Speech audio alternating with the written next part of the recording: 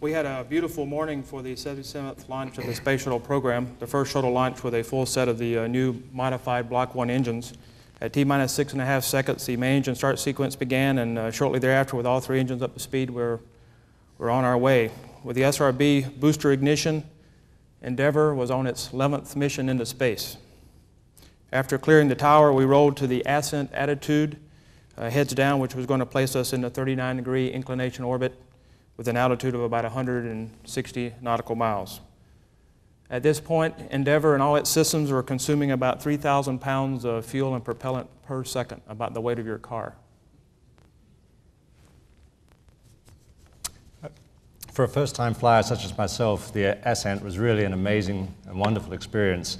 I was on the flight deck and I could look out the overhead windows with a wrist mirror and I could see the flame in the flame trench prior to liftoff. I could see the flash of the SRB ignition and then feel the lurch as we were accelerated upwards. Into the flight, we saw a flash out the front windows as the SRB separation motors fired, as you can see here. Then we could feel the steady acceleration that carried us on up to orbital velocity and orbital altitude. It was a wonderful ride. As soon as we got on orbit, we had to start work. Uh, the first business of the day, as you know, is to open the payload bay doors and expose the radiators that uh, uh, line the doors in order to provide cooling for the spacecraft during its subsequent on-orbit operations.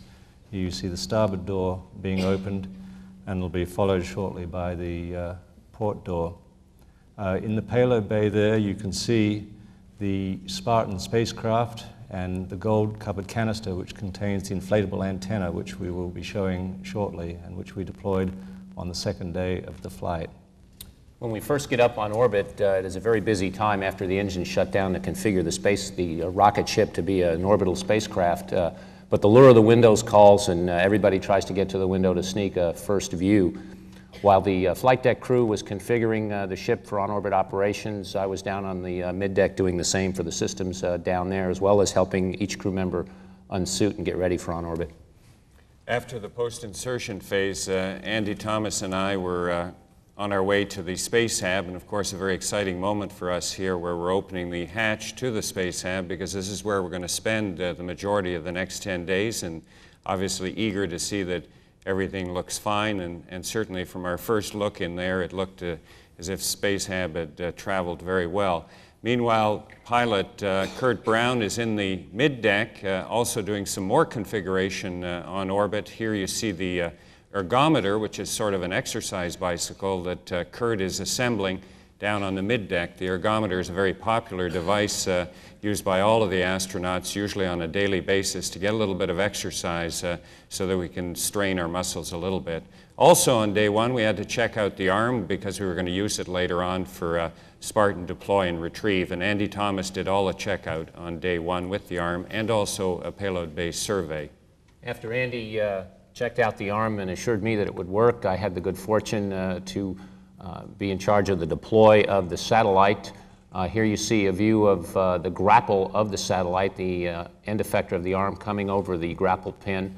Uh, this is a view from the camera A in the front looking toward the aft, and this is the same view I had because the space hab in the payload bay blocks your view, uh, direct view of uh, this task, so we had to use the camera.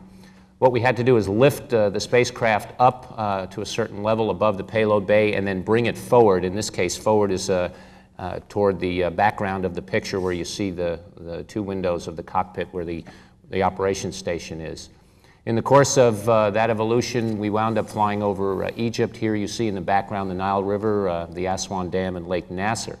Uh, that all took place in daylight. the deploy actually took place as we went around the dark side after sunset. Here you see the deploy. we'd have to ungrapple the put the arm in the ungrapple position and then back it away from the spacecraft. And after backing the arm away, uh, John and Kurt then uh, took the orbiter and backed it away from the uh, satellite.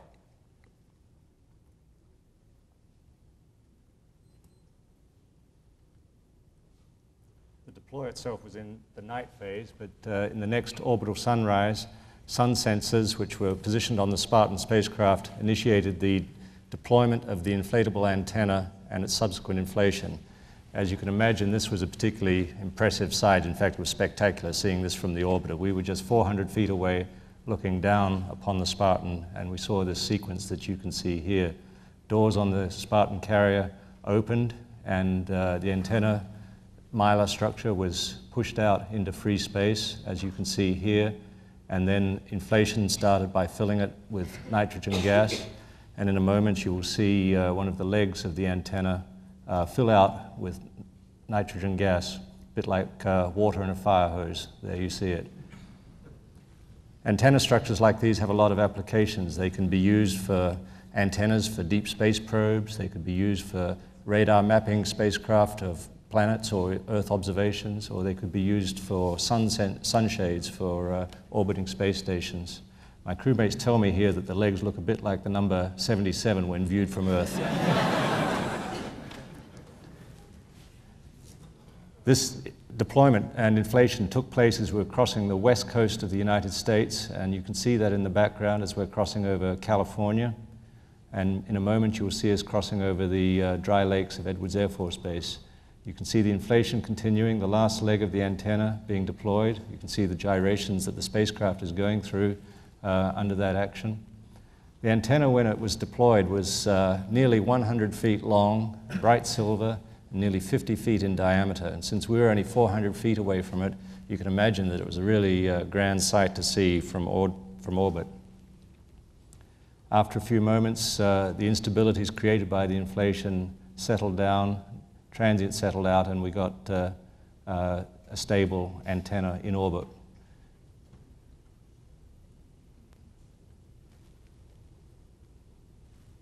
This shows a view of the canopy itself after the inflation. You can see some ripples following the inflation process.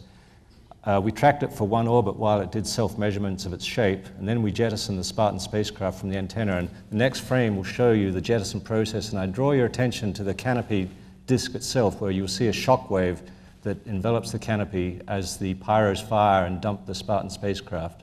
There, you see it. A bit like striking a 100 foot diameter drum. The jettison took place uh, again as we were tracking over the United States.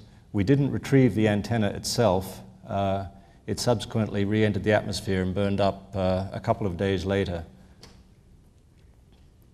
The following day, we went back to retrieve the uh, Spartan itself, which you can see in the lower part of the screen there is a small black speck. And this is our farewell view of the antenna as we're crossing over the Midwest region of the United States.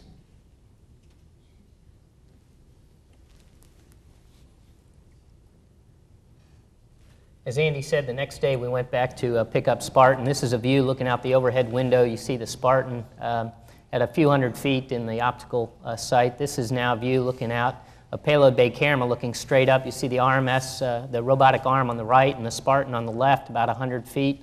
Uh, Marc Garneau uh, very carefully getting ready to uh, retrieve the Spartan and to grapple it.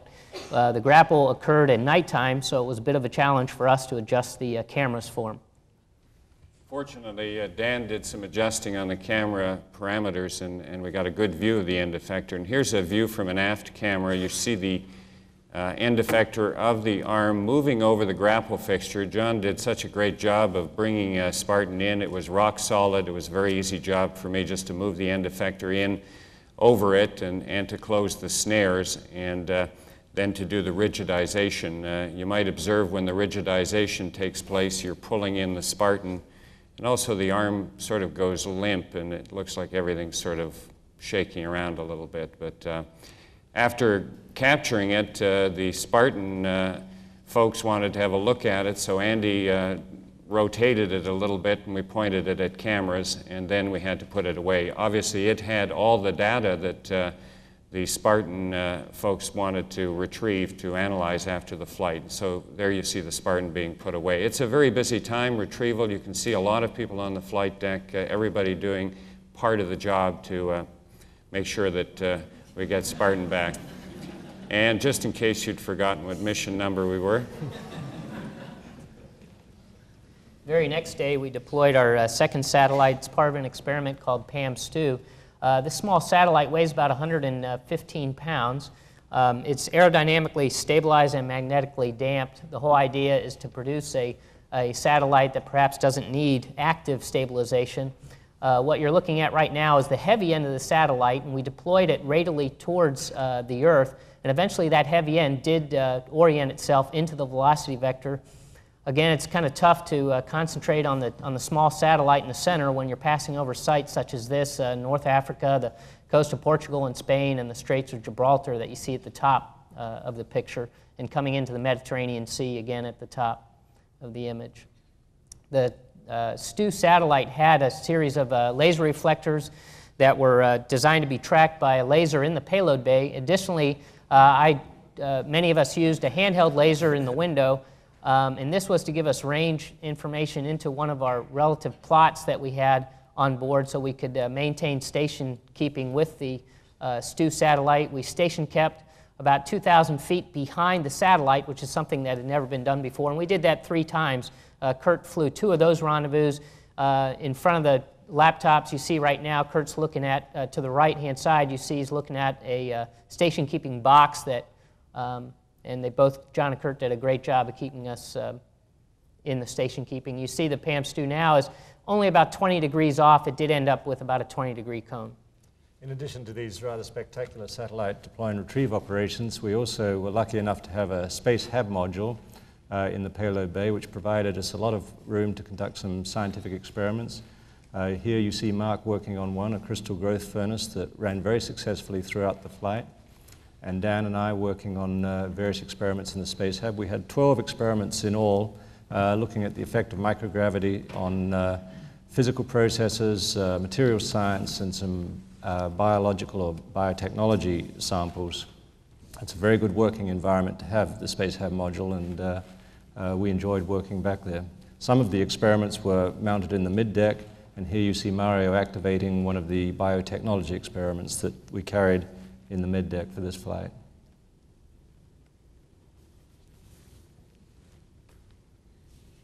And of course, we had our usual uh, unofficial experiments. Here we have the, the ball of water with uh, a ball of air that's been injected into it, and a good demonstration of physics one image is inverted and the other is uh, back upright. And uh, but this time Dan was getting thirsty and asked me to prepare a tropical punch ball, which uh, he uh, very adroitly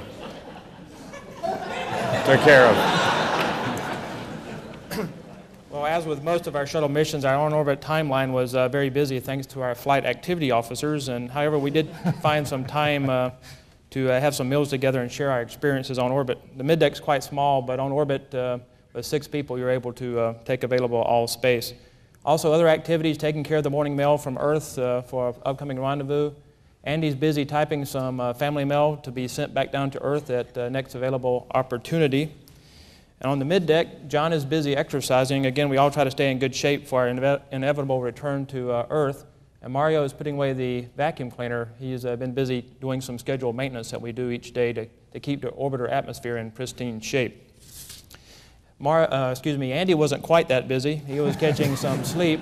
Uh, back in the Space Hab, this is our sleeping configuration in the sleeping bag with a head restraint and a little eye patch and relaxed uh, with the bungees across that give you some pressure in the middle.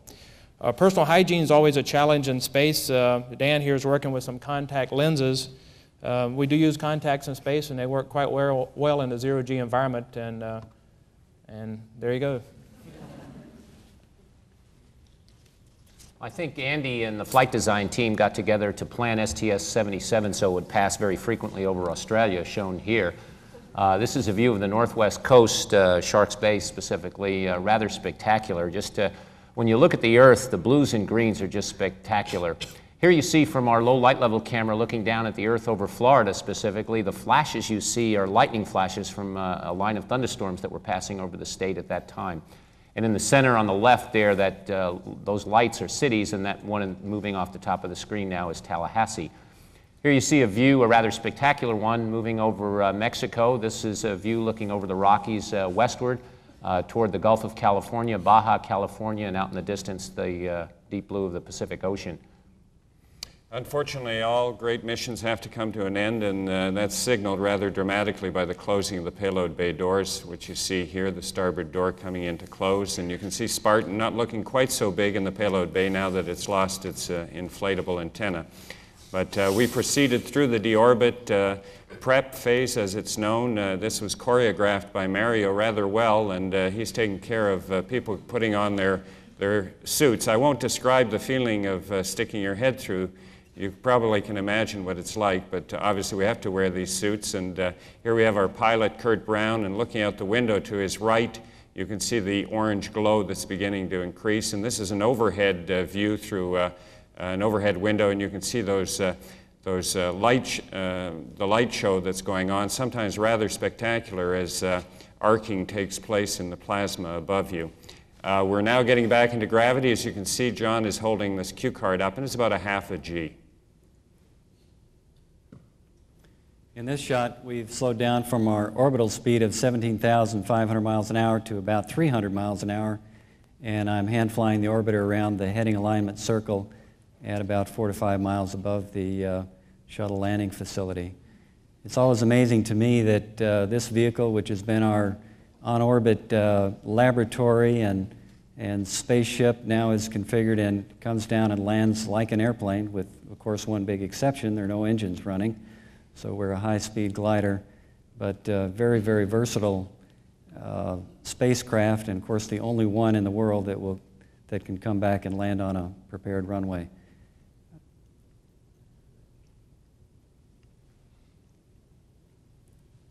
Touching down here a little over 200 miles an hour, uh, we'll deploy the drag chute to uh, help us slow down. Our flight had covered about 4.1 million miles. We're uh, trying to file for frequent flyer miles. and we'd been around the Earth 160 times. The total flight duration was a little over 10 days. And as you can see, it was beautiful weather at the Cape. On time launch, on time landing at first attempt.